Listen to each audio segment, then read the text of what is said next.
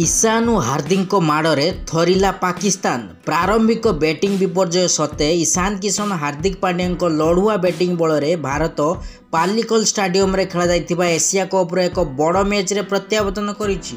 ପ୍ରଥମେ ବ୍ୟାଟିଂ କରି ଭାରତ ଅଡ଼ଚାଳିଶ ଓଭର ପାଞ୍ଚଟି ବଲ୍ରେ ଦୁଇଶହ ଛଅଷଠି ରନ୍ର ଲଢ଼ୁଆ ସ୍କୋର କରିଛି। ଭାରତ ପକ୍ଷରୁ ହାର୍ଦ୍ଦିକ ପାଣ୍ଡ୍ୟା ସର୍ବାଧିକ ସତାଅଶୀ ରନ୍ର ଦମଦାର ଇନିଂସ ଖେଳିଥିବା ବେଳେ ଇଶାନ କିଶନ ବିରାଶୀ ରନ୍ର ଗୁରୁତ୍ୱପୂର୍ଣ୍ଣ ପାଳି ଖେଳିଛନ୍ତି। ଦୁଇ ବ୍ୟାଟରଙ୍କ ମଧ୍ୟରେ ଶତକୀୟ ଇନିଂସ ଯୋଗୁଁ ଭାରତ ଏହି ସ୍କୋର କରିପାରିଛି।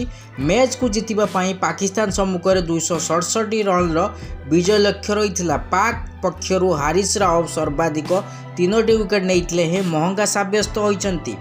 ଟସ୍ ଜିତି ପ୍ରଥମେ ବ୍ୟାଟିଂ କରିଥିବା ଭାରତ ପନ୍ଦର ରନ୍ ସ୍କୋରରେ ଅଧିନାୟକ ରୋହିତ ଶର୍ମା ଏଗାର ରନ୍ କରି ଆଉଟ୍ ହୋଇଥିଲେ। ତେବେ ବିରାଟ କୋହଲି ଚାରି ରନ୍ କରି ଶୀଘ୍ର ଆଉଟ୍ ହେବା ଫଳରେ ଭାରତକୁ ବଡ଼ ଝଟକା ଲାଗିଥିଲା।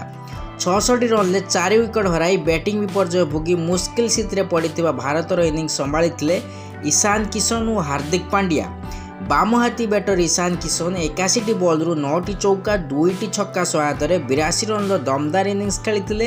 ଏହା ପୂର୍ବରୁ ସେ ହାର୍ଦ୍ଦିକଙ୍କ ସହ ପଞ୍ଚମ ୱିକେଟ୍ ପାଇଁ ଶହେ ଅଠତିରିଶ ରନ୍ ଯୋଡ଼ି ଦଳର ସ୍କୋର ଦୁଇଶହ ପାର କରାଇଥିଲେ। ଇଶାନଙ୍କ ଆଉଟ୍ ହେବା ପରେ ହାର୍ଦ୍ଦିକ ପାଣ୍ଡ୍ୟା ଦ୍ରୁତ ବ୍ୟାଟିଂ ଜାରି ରଖିଥିଲେ। ସେ ଶତକ ଆଡ଼କୁ ଅଗ୍ରସର ହେଉଥିଲେ ହେଁ। ପାଣ୍ଡିଆ ନବେଟି ବଲ୍ରୁ ସାତଟି ଚୌକା ଗୋଟିଏ ଛକା ସହ ସତାଅଶୀ ରନ୍ର ଗୁରୁତ୍ୱପୂର୍ଣ୍ଣ ଇନିଂସ ଖେଳିଥିଲେ। ପାକିସ୍ତାନ ପକ୍ଷରୁ ସଫଳ ବଲର ଭାବେ ସାଇନ୍ସ ଆଫ୍ରିଦି ପଇଁତିରିଶ ରନ୍ ଦେଇ ଚାରୋଟି ୱିକେଟ୍ ଦଖଲ କରିଛନ୍ତି। ହାରିସ ରାଓ ଅଠାବନ ରନ୍ ବ୍ୟୟ କରି ତିନୋଟି ୱିକେଟ୍ ନେଇଥିଲେ। ନସିମ ଶାହକୁ ମଧ୍ୟ ଛତିଶ ରନ୍ ଦେଇ ତିନୋଟି ସଫଳତା ପାଇଥିଲେ।